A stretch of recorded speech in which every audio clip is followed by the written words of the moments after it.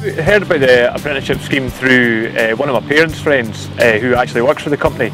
Um, so she told us, told my parents about two or three months before uh, the interviews that there was an apprenticeship coming up. So decided to go for it. And been here now uh, four years uh, qualified, um, but in total I've been here uh, eight years now. When I did it, um, the apprenticeship scheme was sort of block release at college for the first year and a half.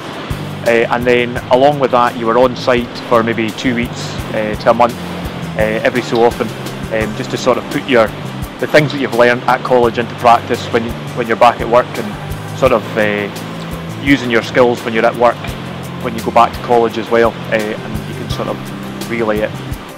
I think it's important for them to employ young people to pass on the knowledge to.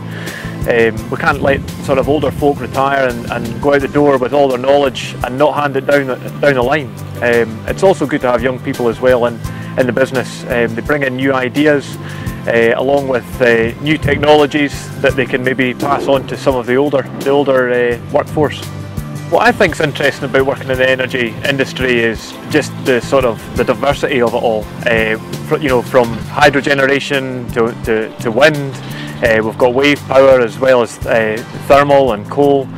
Um, you know, sort of just the, the flexibility in the, the jobs that we can be doing, um, either in the stations on high voltage equipment, uh, or we can be away up in the hill turning, turning catchment in, trying to get as much water down into the dams as possible.